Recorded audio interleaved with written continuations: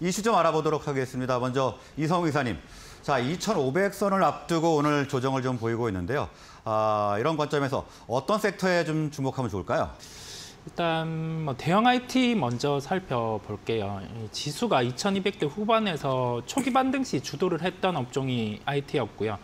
예, 자동차 같은 경우는 실적 발표가 나오고 주가 변동성이 축소되면서 그 구간에서 실적 발표 이전에 반등이 나오면서 지수를 또 견인을 했습니다.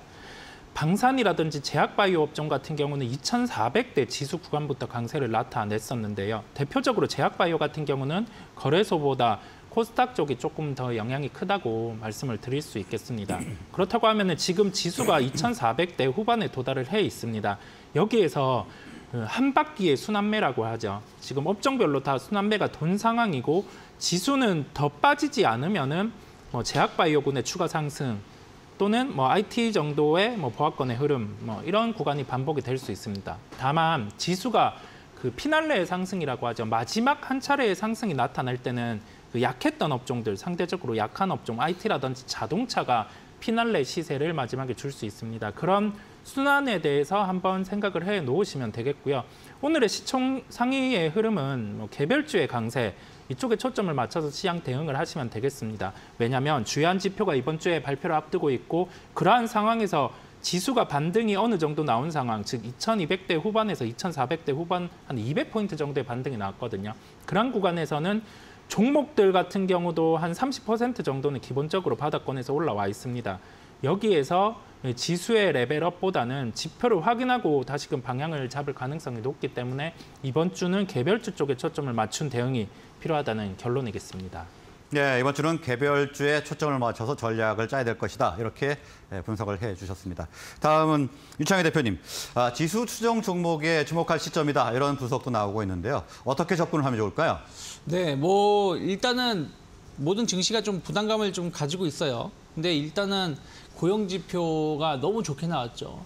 여기에 대해서 해석이 좀 필요하다고 좀 판단을 좀 하고 있고요. 뭐 어찌되었든 뭐 그 금리 상승에도 불구하고 어, 인플레이션이 둔화되고 있다. 그리고 성장은 견조하다. 라는 게 최근의 키워드죠.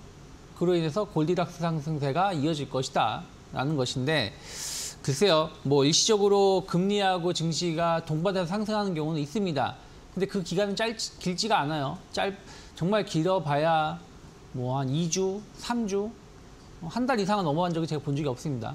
그렇다면 지금 그러한 모습이 연출되고 지난주에 그러한 모습이 시작을 했거든요. 그러면 어, 미국은 우리나라는 이번 주가 옵션 만기일이지만 미국은 다음 주가 옵션 만기일이기 때문에 다음 주까지는 뭐 큰 조정이 없을 가능성이 높다라고 판단하고 있지만 이것이 지금 상방에 대한 어떤 매물을 계속 쌓을 수도 있다라고 생각하고 있어요. 그래서 지금은 어, 무리하게 어, 주식 비중을 확대할 자리는 아니다 판단하고 있고요.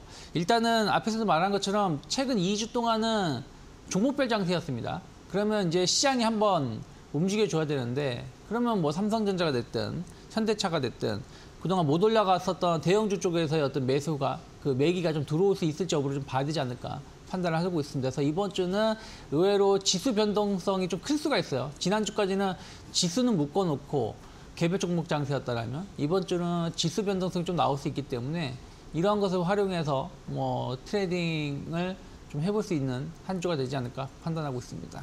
네, 이번 주는 무리하게 주식 비중을 확대하기보다는 보수적인 관점을 유지하시는 것이 유지하는 것이 필요할 것으로 분석을 해 주셨습니다. 다음 관심 종목 알아보도록 하겠습니다. 이성우 이사님.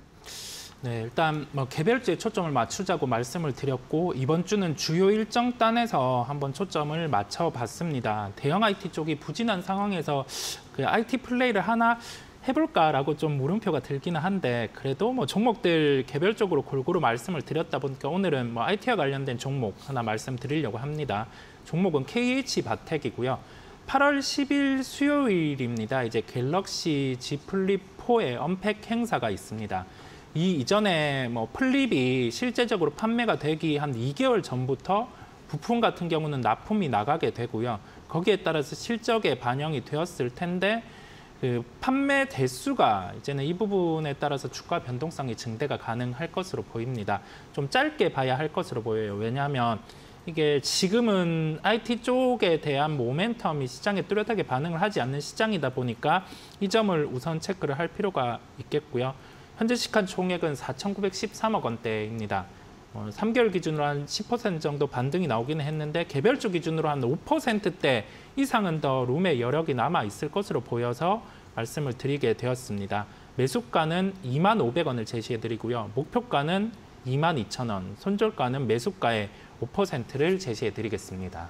네, KH 바텍 관심주로 분석을 해봤고요. 다음은 유창희 대표님. 네, 어, 최근에 소리도 소문 없이 많이 올라온 게 그 통신 장비주 쪽이에요. 상반기에는 통신주를 봐야 되고 하반기에는 통신 장비주를 봐야 된다라고는 얘기가 계속 나오고 있는데 결국은 이제 5G 관련해서 투자가 본격적으로 이루어지고 있다라는 것이죠. 어, 뭐 북미 시장이든 유럽 시장이든 5G 서비스가 시작이 되다 보니까 이러한 부분들의 투자를 이제 더 이상 미룰 수 없다라는 것이고 어, 미중 무역 분쟁 이슈로 인해서 국내 기업들이 계속 반사 이익을 누릴 수 있다는 것이죠. 어, 최근에 삼성전자가 인도에 최초로 5G 장비 공급을 시작했다, 어, 계약을 했다라는 소식도 나오고 있고요. 어, 그리고 외국인들 수급도 상당히 좋습니다. KMW 같은 경우는 6월 11일인가요? 뭐 그때부터 매일같이 외국인들이 매수를 보여주고 있습니다. 그래서 수급적인 측면도 나쁘지 않다라고 판단하고 있어요. 그래서 약간의 지금 뭐 고점에 대한 매물 부담감은 있을 수 있는데 저는 뭐 현재가 충분히 공략 가능하다 생각하고 있고요. 분위기만 좋게 움직인다라면 2차 상승을 할 수 있다 생각하고 있고 일단 3만 7천 원 정도 목표가 열어놓고 있습니다. 손절가는 한 3만 2천 원을 크게 이탈하지 않는다라면 조금 더 어, 분할 매수 관점으로 접근해 볼 수 있지 않을까 판단하고 있습니다. 네, 통신 장비주 KMW 관심주로 분석을 해봤습니다. 자, 오늘 말씀은 여기까지 듣도록 하겠습니다. 두 분 수고하셨습니다. 네,